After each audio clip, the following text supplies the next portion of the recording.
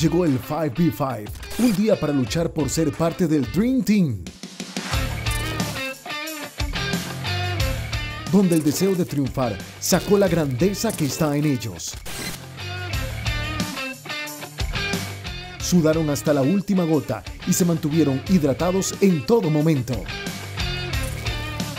Y la diversión fue parte de cada segundo.